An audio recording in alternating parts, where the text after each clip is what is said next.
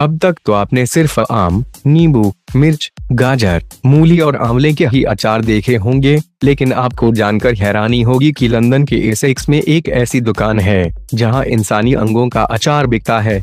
इस दुकान के अंदर ऐसी ऐसी खौफनाक चीज़ें रखी हुई हैं कि कोई भी वहाँ जाने से पहले दस बार सोचता है। इस दुकान में घुसते ही आपको इंसानों के हाथ पैर खोपड़ी, बाल, नाखून, जानवरों की खोपड़ी उनके अवशेष और कई डरावनी और अजीब गरीब चीज़ें डिब्बों में बंद रखी हुई दिखाई देंगी। यह दृश्य देखने पर किसी डरावनी फ़िल्म की तरह लगता है। इस दुकान का नाम curiosities from the fifth corner है, जिसके मालिक का नाम हेनरी स्क्राइग है। हेनरी ने अपने इस शॉप में सैकड़ों ऐसी चीज़ें रखी हैं, जिसे देखकर लोग डर जाते हैं। हेनरी की इस अजीब गरीब दुकान में जो चीज़ें रखी हुई हैं, उसमें एक शख्स का कटा हुआ हाथ, महिलाओं के गर्भ, ओवरी और यहाँ तक कि नवजात बच्चे का शव भी शामिल है, जिन्हें अचार रखने वाले शीशे के जार में बंद करके रखा गया है।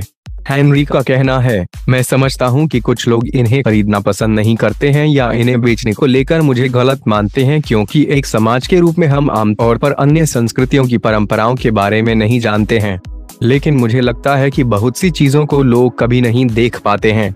ऐसे में लोग इस शॉप में आकर अपने शरीर से जुड़ी बहुत सी चीज़ों को देख सकते हैं और पसंद आने पर उन्हें खरीद भी सकते हैं। हैरानी की बात तो ये है कि हैंडरी को इस शॉप के लिए मेडिकल बोर्ड से अनुमति भी मिली हुई है।